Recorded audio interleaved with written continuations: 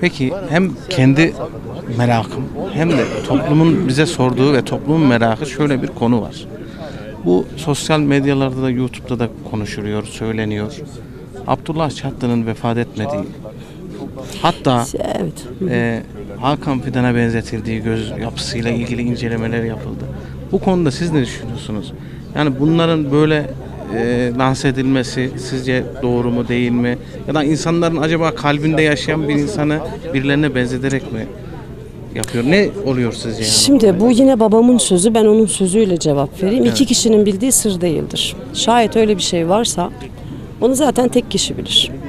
Ee, babam böyle bir şey yapar mıydı dediğim gibi hani onu yapmış olsa bile sır dahilinde yapardı. Bunu ne ben ne kardeşim hiçbirimiz bilmezdik değil mi? Tabii. Ee, şunu belirtmek isterim. Babam fiziken aramızdan ayrılı 23 yıl oldu.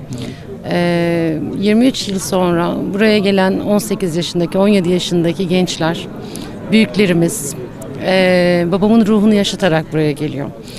Ee, o ruhu burada hepimiz hissedebiliyoruz. Ve o e, evet yaşıyor, aramızda yaşıyor. Yani eğer bunu mecazi anlamda algılarsanız, hakikaten arkanıza dönüp bakacak olursanız engelli çocuğumuz bile e, buraya bir şekilde geliyorsa o ruh yaşıyor ve hep yaşayacak.